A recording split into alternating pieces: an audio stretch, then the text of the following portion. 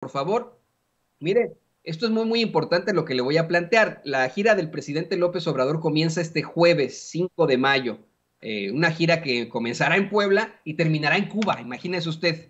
El jueves 5 de mayo, usted lo sabe, aniversario de la heroica batalla de Puebla, esa batalla que detiene el avance de las tropas francesas que traen los conservadores, imagínese usted, para implantar en el trono, entre comillas, de México a un príncipe austriaco, para hacerlo nuestro emperador según ellos, a Maximiliano de Habsburgo y a su esposa Carlota. Bueno, eh, se va a hacer la conmemoración este 5 de mayo, como siempre. El presidente, estará ahí en Puebla desde el jueves. Dice que van a estar desde el miércoles en la noche en Puebla, disculpe usted, y que tendrán la mañanera el jueves en la mañana, valga la redundancia, ahí en Puebla. Después harán la, eh, pues vamos, eh, participará en la ceremonia del 5 de mayo y escuche esto, eh, esa tarde vuela a Guatemala, esa tarde del 5 de mayo vuela a Guatemala, donde se va a entrevistar con el presidente Alejandro Yamate, por cierto, un personaje de la derecha, ¿no? él es un presidente de la derecha guatemalteca,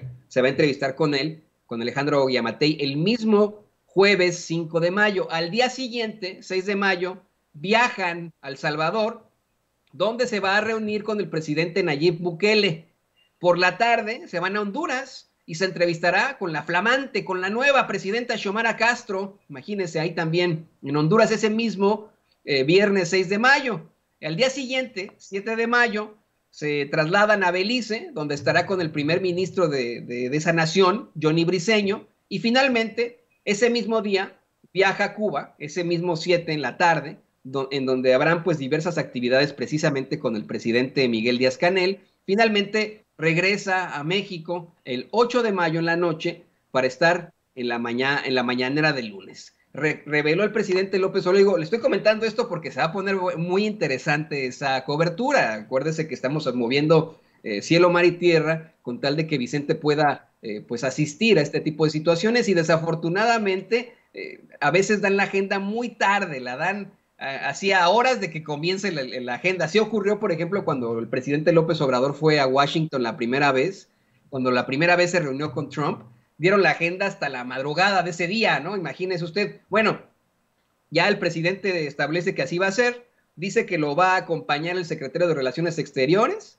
Marcelo Ebrard, el general secretario de la Defensa, Crescencio Sandoval, y el almirante secretario de la Marina, Rafael Ojeda, así como su esposa, la doctora Beatriz Gutiérrez Müller, pero a partir de la gira a Honduras. Es decir, no va a estar Beatriz Gutiérrez Müller en eh, Guatemala, pero sí es, ni, ni, tampoco en El Salvador, sino que se encontrará con su esposo en Honduras porque estará participando en un evento que se realizará acá en Estados Unidos, allá en la Casa Blanca, por el 5 de mayo. Fíjese, en tiempos de Trump no se celebró el 5 de mayo, lo que era eh, lo ajeno, lo, lo, lo, racista, lo discriminatorio ese gobierno hacia los mexicanos. Bueno, en tiempos de Trump no se celebraba el 5 de mayo. Me parece que en campaña simple y sencillamente mostró eh, Trump un bowl de, esos que se come de, eh, no sé, ¿no? Como de un burrito bowl que se hizo, ¿no? Y de tacos, ¿no? Una cosa rara que se, que se han inventado acá en Estados Unidos, que no tiene nada que ver con nuestra eh, vasta gastronomía. Pero bueno, la encontrará hasta él eh, hasta el, vamos, la gira, cuando pase ahí por, por Honduras, el presidente López Obrador, a su esposa Beatriz Gutiérrez Müller, pues la tendremos acá en Estados Unidos, estará en la Casa Blanca en ese evento por el 5 de mayo. Si usted quiere saber más sobre el 5 de mayo y la relación absoluta que tiene con Estados Unidos, le recomiendo mucho leer al doctor Hayes Bautista. La primera vez que se celebra el 5 de mayo es aquí en Estados Unidos, es en Los Ángeles. El doctor Hayes Bautista sostiene que eh, es el, vamos, eh, la, batalla de Puebla detiene el avance de los franceses, no solamente por México, sino hacia Estados Unidos, donde buscaban unirse al ejército confederado, ese ejército esclavista que intentaba dividir a los Estados Unidos en dos países y mantener la esclavitud en los territorios del sur, eh, para que Francia pudiera tener una colonia en México. Imagínese usted qué situación tan lamentable, tan triste. Ahí lo tiene. Y le pido